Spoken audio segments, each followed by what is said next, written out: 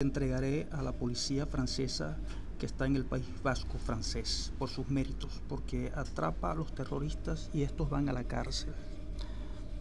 El autor de la obra Carlos Alberto Acosta Suárez. Ustedes pueden ver, eh, bueno, en la cárcel a los terroristas y de fondo la bandera nacional francesa.